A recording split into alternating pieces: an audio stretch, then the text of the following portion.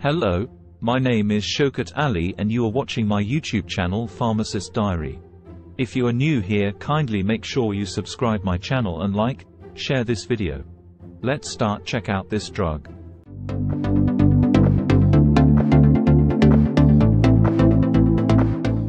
Pyrethrin and piperonyl butoxide topical.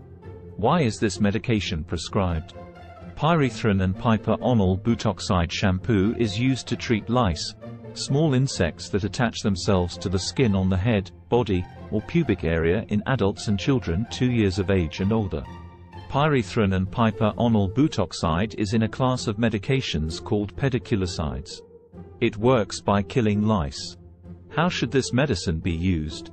Pyrethrin and piperonyl butoxide comes as a shampoo to apply to the skin and hair. It is usually applied to the skin and hair in two or three treatments. The second treatment must be applied 7 to 10 days after the first one.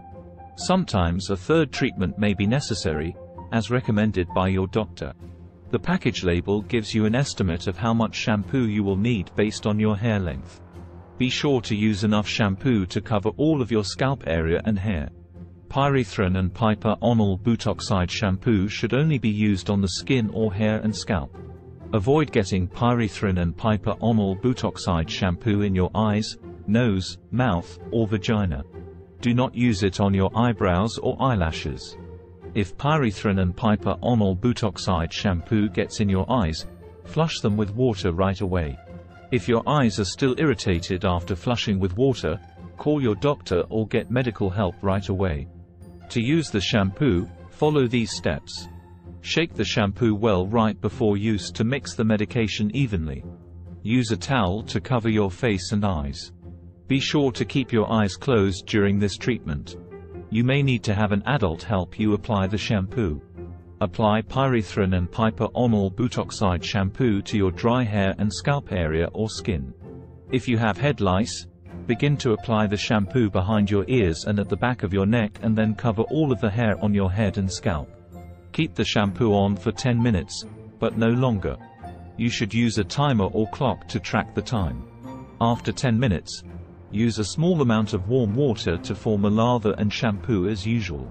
Rinse your hair and scalp or skin thoroughly with warm water. If you have head lice, dry your hair with a towel and comb out tangles. A lice comb may also be used to remove the dead lice and nits, empty eggshells, after this treatment. You may also need to have an adult help you to do this.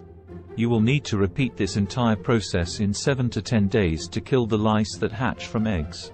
After using pyrethrin and piperonyl butoxide shampoo, sanitize all the clothing, underwear, pajamas, hats, sheets, pillowcases, and towels you have used recently. These items should be washed in very hot water or dry cleaned. You should also wash combs, brushes, hairs clips and other personal care items in hot water.